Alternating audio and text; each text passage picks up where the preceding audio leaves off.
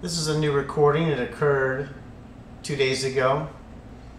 Let's just say that a mechanical device in the household produced a specific noise that, when combined with the audio filtering techniques that I've used and reduced down into, um, or reduced down into what we could interpret as audible voice and then further refined by frequency shifting, this is the end result.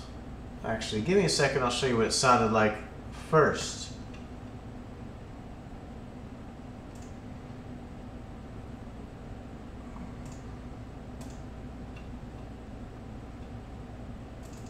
This is the original signal, this is how it appeared, and this is why I went and looked at it. Stuck out. Let's see what it sounds like.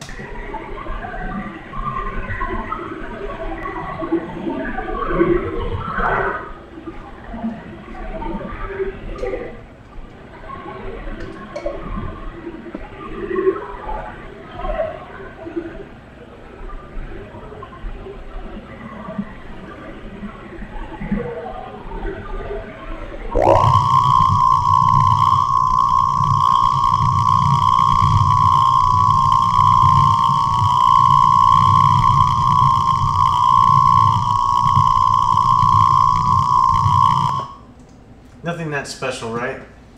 Here's how it sounds when I get done filtering it and applying a certain process to it.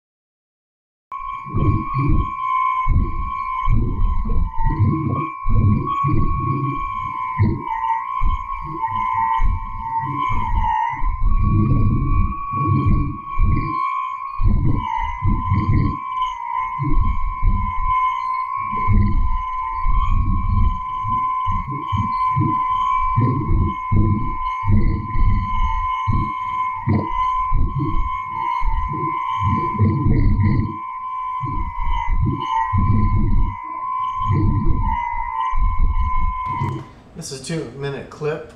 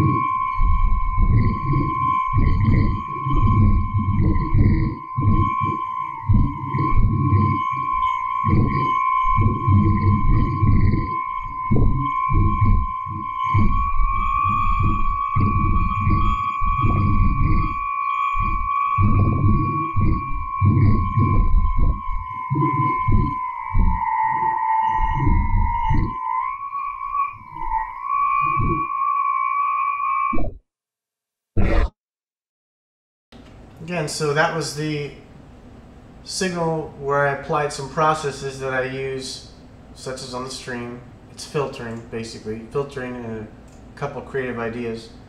And then uh, this was the original.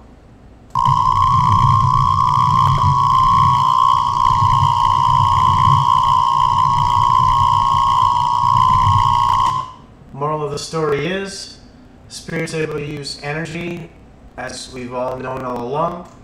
But uh, there have been many signs in the recent years that prove and show that we will be able to find ways to augment and provide that energy consistently and then reduce it back to where we can understand and hear what they're saying. Now we can't understand it just yet, but it's a lot closer.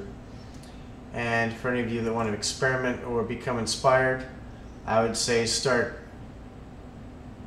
Well, there's many different things you could do, but this particular video has to do with DC motors, which can be found in many household items, and it's refined with audio filters, which I have demonstrated in one of the YouTube videos, how to live filter audio with VST host.